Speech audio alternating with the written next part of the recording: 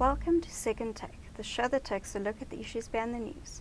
As the dust settles after the elections, energy is returning as a hot topic for South Africa. Terence Creamer joins me to discuss recent developments. Hi, Terence. Hi, Chanel. Eskom is top of mind for President Cyril Ramaphosa ahead of his appointment of a new cabinet. That's right. I think uh, the attention is definitely turning to the new cabinet and the composition of that. How many uh, cabinet positions will be there? Will there be mergers of different departments? Will those mergers make sense? And who, in the end, will lead those departments? And I think energy is going to be uh, focused on very carefully by the public. We know that um, Eskom is in dire straits financially. And I, I, think, you know, with this first engagement with business that uh, the President had this week, it was very clear that Eskom is top of mind, that this debt crisis that Eskom has found itself in or has got itself into over the last number of years is really coming back to bite the organization. It's this financial sustainability uh, is, um, is not there and it's not going to be able to trade itself out of its current uh, difficult situation financially. And therefore, the government's going to have to take some painful decisions around a debt relief option uh, that seems to be the, on the agenda, some form of uh, financial engineering to get Eskom back onto some sort of sustainable uh, financial footing. Whether that's going to be enough, um, I don't think so. I think it's going to also involve tariff increases. And whether that's going to be enough, I'm not sure uh, either and it may involve, uh, have to involve eventually some asset sales and some form, and I know the word is dirty, but some form of, of private investment or privatization of Eskom in some form. Um, so I think there's a, there's a lot of uh, big decisions to be made, and they need to be made quite urgently, because if uh, Eskom is left um, uh, with the current situation where there's been tariff increases that are insufficient really to deal with its financial problems, the, the 23 billion rand a year bailout, we, uh, it's made very, it's been made very clear, uh, is not going to be sufficient to get it out of, it out of its hole, with uh, debt rising to over 450 billion, losses over 20 billion, and the debt trajectory rising probably to around 600 billion uh, over the next few years, unless something uh, drastic, uh, some drastic action is taken. So I, I think that is why the president one is going to have very have to have very strong whatever it is energy as well as uh, whatever structure oversees public enterprises but Eskom in particular and uh, then there's going to have to be some very difficult decisions and made quite soon. There's also been some movement on the regulatory front this week. Yes, for years now, a couple of years now, there's been total uncertainty around uh, small-scale embedded generation. Um, the rules changed in late 2017. Those rules were supposed to actually, uh, the, the, the, implication of the rule change was supposed to make it easier in that uh, there would be a whole lot of class of small-scale uh, rooftop solar, etc., not having to go through a licensing process with NERSA.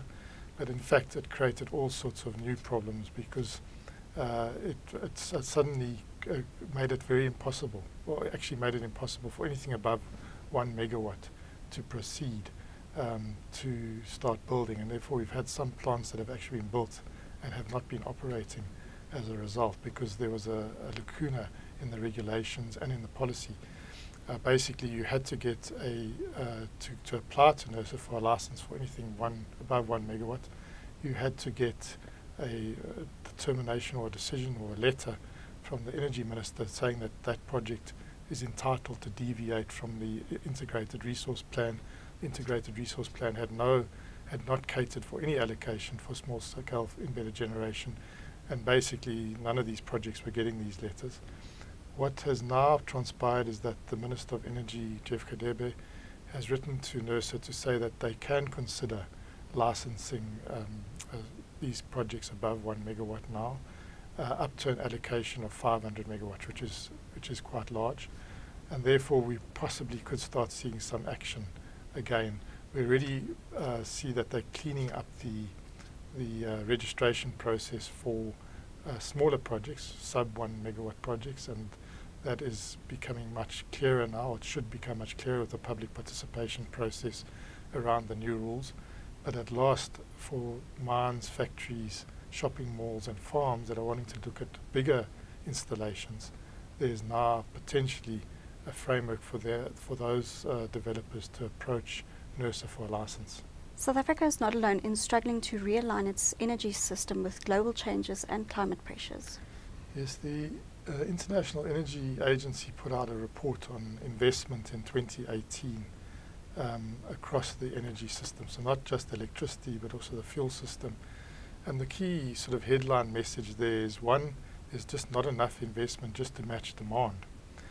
Then if you were, if you were to then look at the composition of the investment, the composition of the investment is in no way aligned to the Paris Agreement, which uh, sets uh, goals for reducing greenhouse gas emissions.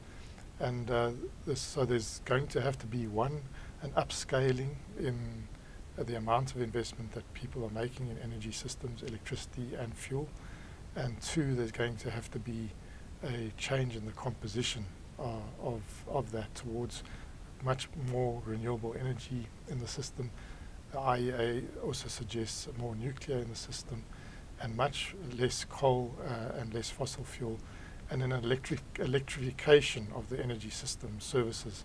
So at the moment electrification is really um, you know not penetrated for instance transport mobility beyond electric trains uh, that we're going to see over the next few years the electric car revolution and therefore electricity is going to be the fuel source rather than petrol or diesel more, uh, more and more into the transport system and then for also industrial heating processes and domestic heating uh, in the rest of the world. South Africa is still quite electrified in that sense, but the rest of the world will look to electrify that because the view is that the easiest part of the energy system to decarbonize now is the electricity system and the reason for that is the massive fall in the prices or the cost of building solar and wind um, uh, systems relative to uh, coal and gas. And then what's happened is we've seen this great explosion of gas use because it complements a variable energy system quite well. So uh, there's going to, the EIA is saying more, more renewables, some more nuclear, but also more gas as you uh, migrate coal out of the electricity system.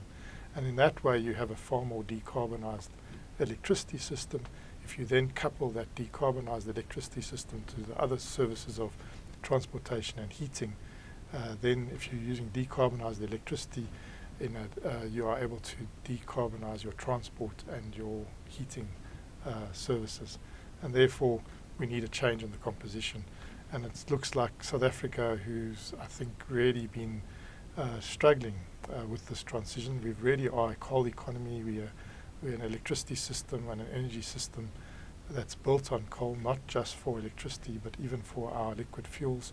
It is quite a difficult uh, thing to get our head around, and we really are right at the bottom of the pile when we do international benchmarking for our readiness for the energy transition. I think we come second last in the world of those measured, and we're really going to have to get our mind around it.